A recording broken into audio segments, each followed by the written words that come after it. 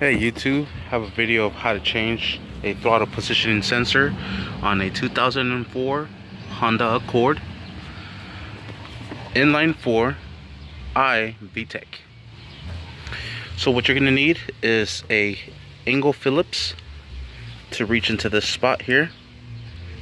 But what I'm going to use is a, no, a new little toy that I got myself, uh, Ryobi angle. Uh, to get to that. So let's go ahead and do this. And as always, I'm gonna need two hands. But this is how we're going to do it. But I'm gonna need two hands. All right, so I got a position and go ahead and break it loose and drive it out. Get that screw out before it drops and do the other one. All right, once you remove the screws, what you wanna do is remove the pigtail or the whole thing. and then you can remove the pigtail.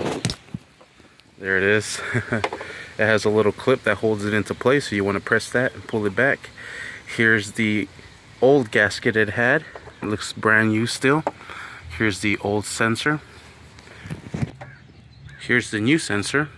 The gasket doesn't look as heavy duty as the other one, but we got to replace the gasket. This one feels a lot thicker. Still looks pretty good. If it didn't have those little moldings it already has, I'd throw it on there. But just because it does, we got to throw that one on there so it could fit perfectly and sit correctly. So let's go ahead and slap it back on. Just wipe it down, make sure it's nice and clean. Throw it in here. Whoops, the gasket fell out. Reset.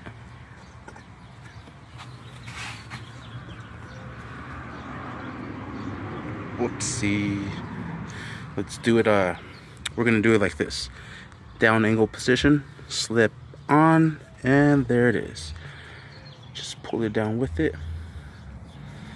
All right so now what we're gonna do is insert our screws back in place. Just like so. And the other one. Just like so all right, now you want to drive it in just enough to snug it down, just like so. See if I could do this one single-handedly. I did, yay. Just like so. All right, the reason you just want to snug it down is because we're going to connect this. Go turn our key to accessories.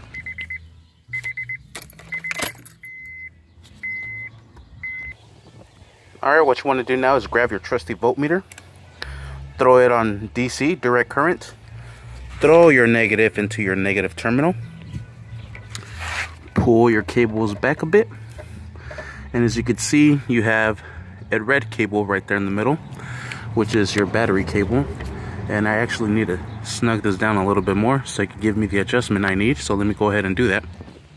Alright, I went ahead and used the angle Phillips just to snug it down. Now it's nice and snug.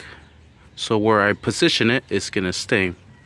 So now, what you wanna do is grab your positive terminal.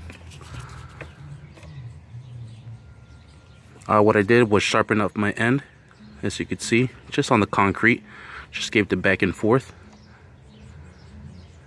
And what we're gonna do is just stab the positive. And down here, it's gonna give us a voltage reading what we want to do is move this bad boy over just like so back and forth till we get our reading. Here you see the reading moving. There it is. Our reading. So what we want is our reading of five. Five volts. So there it is. It's set to five volts.